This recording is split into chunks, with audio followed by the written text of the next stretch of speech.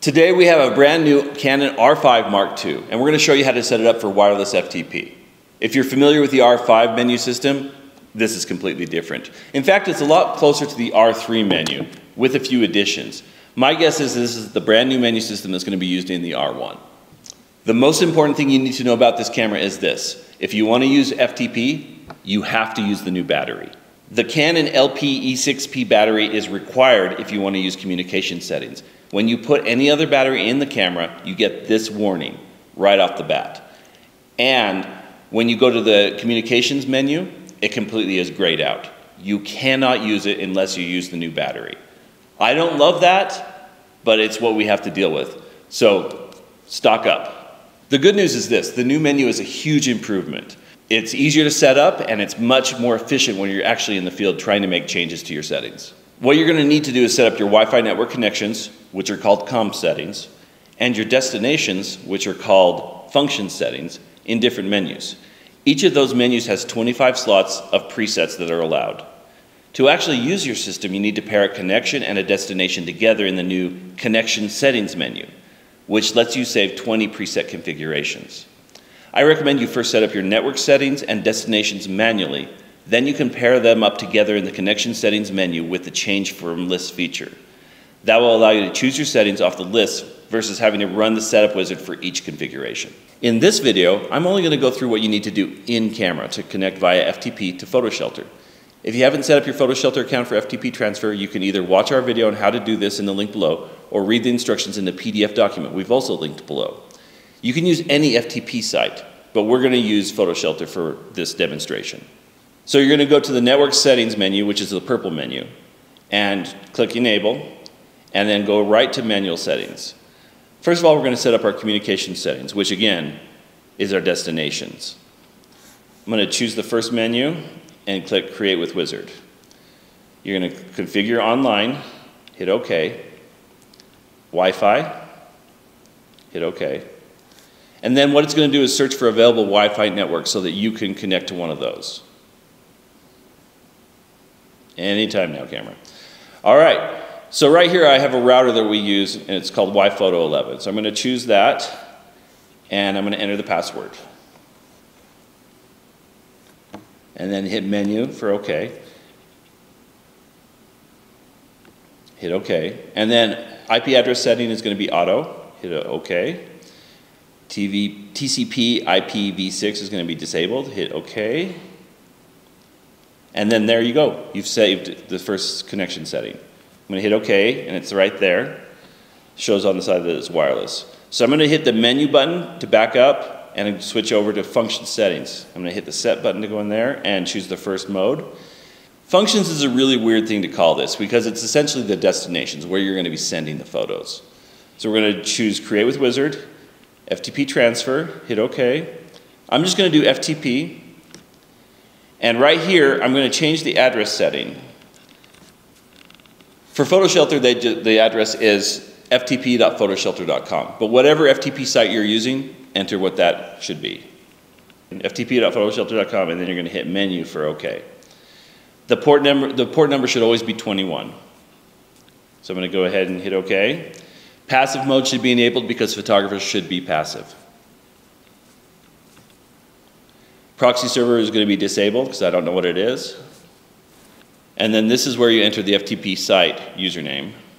And then we have to enter the password. And then you hit OK. Target folder, for me, I'm just going to go with the root folder, which is just the main folder that the destination has. And then there it is. It's set to mode 1.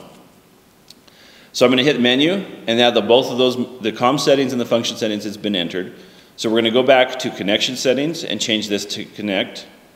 This is where we marry the two settings together.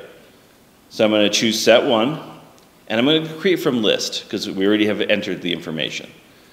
I'm going to name this setting, and I'm just going to name it something that, that's helpful for me, so like football. Just so I remember to use it next time. And then I'm going to choose my function setting first, select from list. I only have one on the list. It's easy, it's that one. And then for my communication settings, I'm going to choose select from list. I'm going to choose that, that uh, router that I set up. I select that, and now I hit the menu button, and then in the bottom left corner you see this connect button. That's what you have to do is connect and hit OK. If you push the play button, you can go back into your camera and look. On the top left hand side of, of the frame, you see that there's a wireless uh, signal. And then there's this box with set. When you hit the set button on your camera, it will transfer the photo. And now if we go take a look at FileFlow. When I go into Live Gallery, oh, there's the photo of our crew working really hard. My camera's always set up to shoot RAW plus JPEG. The RAW is what I'm going to edit off of, but for FTP, for, for, for social media, immediate stuff, I'm sending a small JPEG. I like the S1 JPEGs because they're just about the right size that you get a lot of quality over 3,000 pixels, but it's still pretty small file, one to two megabytes. You're going to be tempted to send raw files with FTP. Just don't. It will bog down the system and it, it will be very inefficient.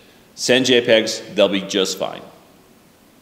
If you're in a place that doesn't have a very good signal, you can, you can make the size of your JPEG even smaller just so that you can FTP it out. And that's something that I do from time to time. I'll have my camera set between level 6 and level 8 small JPEGs. There's just a few more settings I want to go over.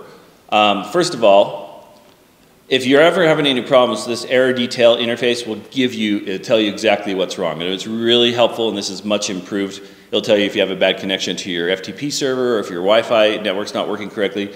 That will help you when you have problems.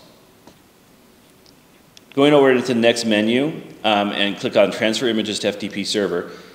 And go down to FTP Transfer Settings. And this will give you some options to do. First of all, it's going to give you the option of doing automatic transfer. That means sending every single photo that you take via FTP. And trust me, you don't want to do that. We're always making selects of the specific photos we want to be sent so that our social media managers can quickly pull those and put them on social media. On the images to transfer menu, you can choose what to send.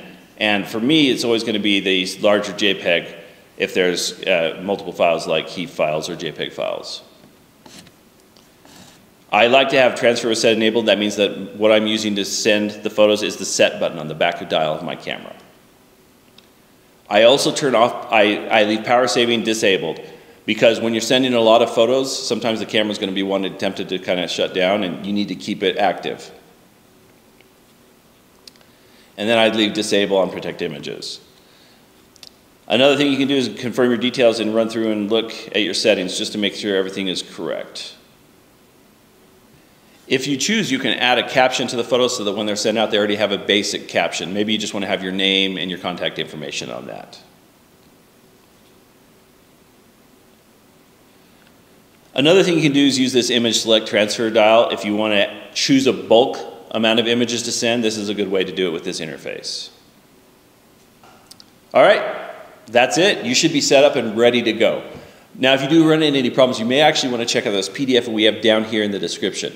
That'll take you through every single one of these steps to make sure you didn't miss anything. You can also send us a comment with any questions that you have, and we'll see what we can do to help you. But thank you so much for watching, and we'll see you on the sidelines.